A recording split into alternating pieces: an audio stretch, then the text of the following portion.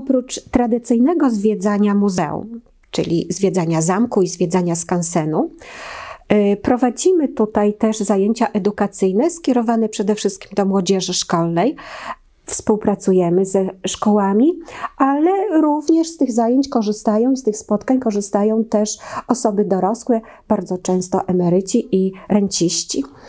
Y, mamy lekcje muzealne, warsztaty, spotkania ze świadkami przeszłości. Y, tutaj prezentujemy dawne rzemiosło. Y, tematy są różne, związane przede wszystkim, jeżeli chodzi o skansen, z tym, co tutaj dawniej, co tutaj prezentujemy i co dawniej na naszym terenie było związane z obrzędowością, z tradycją, e, z dawnym rzemiosłem. E, mamy spotkania i tak zwane lekcje, spotkania ze świadkami przeszłości. Zapraszamy wtedy osoby, które albo w tej chwili jeszcze zajmują się jakimś tradycyjnym rzemiosłem, albo w, ich rodzinach były osoby, które y, tym się zajmowały.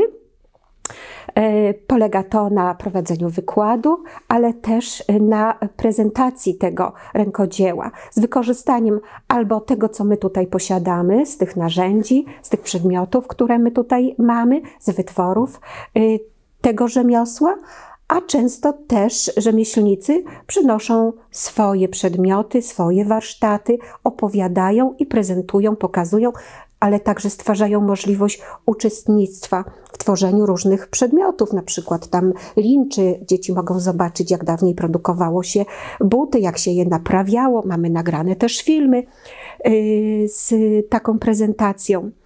Y, mamy też spotkania, które opowiadają o y, jest to tak zwane hasło Rok Polski w zwyczajach i tradycji, czyli opowiadamy mm, uczestnikom o dawnych zwyczajach, o świętach, o obrzędach, które były y, w ciągu roku, poczynając od okresu adwentowego, poprzez okres, czyli zimowy, wiosenny, letni, jesienny.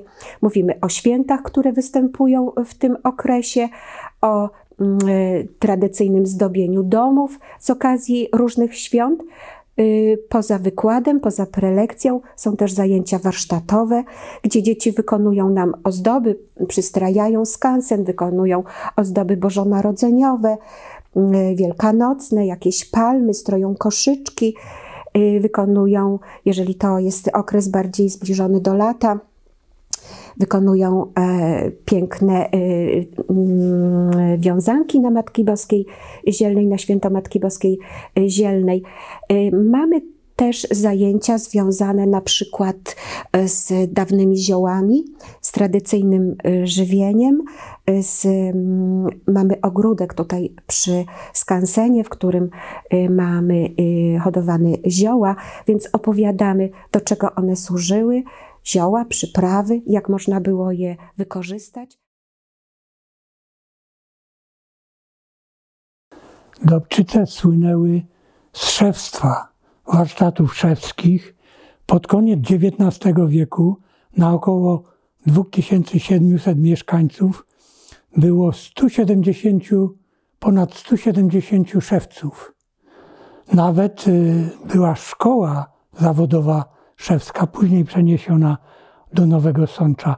No, z szewstwem wiązało się również garbarstwo, no bo przecież trzeba było mieć surowce. Najstarszy zapis statutu cechu szewskiego, taki przepis podaje, że nie wolno było szewcowi wystawić na jarmarku na straganie więcej niż 10 par obuwia, ale, co było zaznaczone, nie wolno było szewcom chodzić boso. No chyba, żeby nie sprawdzało się to przysłowie, że szewc bez butów chodzi. No, tu dawny ten, e, tak właściwie półfabrykat, wszystkie materiały naturalne. Skóra, potem ta gruba skóra podeszwowa, dratwa, to było konopna albo ilniana, częściej konopna i woskiem, nasycana woskiem po to, żeby chroniło przed wilgocią. No, szewc musiał się starać, takie buty cały dzień, cały dzień robić. No pytałem tu starszych, bo to jest dawny, dawny but. Przed wojną taki but kosztował 8 złotych, a za dzień pracy we żniwa, no u gospodarza czy, czy we dworze, tu płacili 80 groszy. A więc buty świadczyły nawet o jakimś tym e, statusie właściciela. Szanowano butów, także najczęściej, no w lecie oczywiście, noszono buty na ramieniu, a ubierano buty przed kościołem albo przed urzędem. Te, może też wezmę, te buty pamiętają II wojnę światową. To są buty niemieckie, oryginalne, wartowników niemieckich, którzy w zimie na mrozie te, te buty za, zakładali.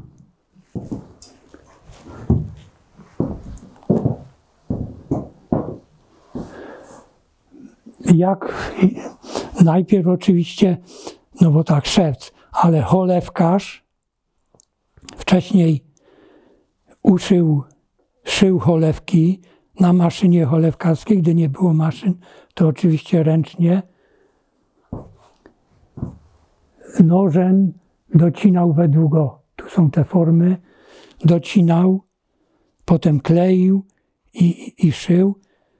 Gdy się, buty na zamówienie, gdy się przyszło do szewca, szewc mierzył nogę w ten sposób, że na papierze, oczywiście bo, bosa noga albo skarpetce, odrysowywał ołówkiem, potem też y, takim metrem, podobnie jak krawieckim, mierzył po to, żeby buty były wygodne.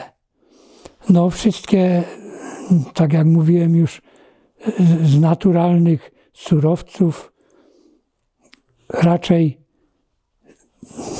no dzisiaj, dzisiaj no to już to wszystko jest i, i sztuczne, klejone. Około obliczono, że około 30 razy ziarno było w rękach, a potem mąka, nim upiekło się chleb. No bo przecież zaczynało się od tego, że chłop brał do, do worka, tak, czy potem czy w koszyku, czy w tej płachcie i siał ręcznie. Zaczynał, zaczynał od tego, że brał kropidło, wodę święconą i to ziarno, które miał wysiewać, kropił wodą święconą. I w polu ten pierwszy, pierwszy ruch, pierwsze to, to rzucenie ziarna, to w kształcie krzyża. No później praca przy żniwach. Bardzo, no bo przecież e, upał, tak, to była praca od, od świtu do zmroku. No już mówiłem, że e, przy wynajęciu 80 e, groszy płacili za dzień pracy przy żniwach albo miarkę zboża, a miarka zboża to było 16, około 16 litrów zboża. Za cały dzień pracy w upale, no bo przecież w polu cienia drzew nie było, żeby, żeby cień. Później żniwa, zbiór albo sierpami, bo chodziło też, żeby była słoma nie, niepomierzwiona, bo przecież nadawała, trzeba było na strzechę, nakrycie, nakrycie dachu, prostą słomę mieć. Potem wiązanie, stawianie, u nas się to nazywało mędle w polu, z, z wózka, młocka, aha, kosy jeszcze. No, nawet mamy tu w zamiarze pokaz klepania kosy, koszenia trawy, no bo to jest dosyć, dosyć zainteresowanie. Potem z, z wózka do, do stodoły, młocka tymi cepami i żarna, prawie w każdym domu były młynki, tutaj u nas młynki, żarna, ręczne. No, w czasie okupacji, w czasie wojny Niemcy zabronili korzystania z młynków.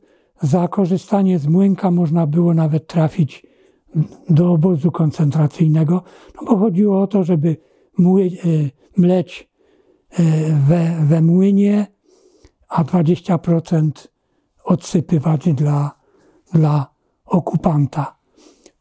Później no samo pieczenie, przygotowywanie chleba, zakwasu, a więc około 30 razy, tak jak mówiłem, stąd poszanowanie dla chleba takie, że jak upadła okruszyna, to trzeba było ją podnieść i przeprosić, pocałować.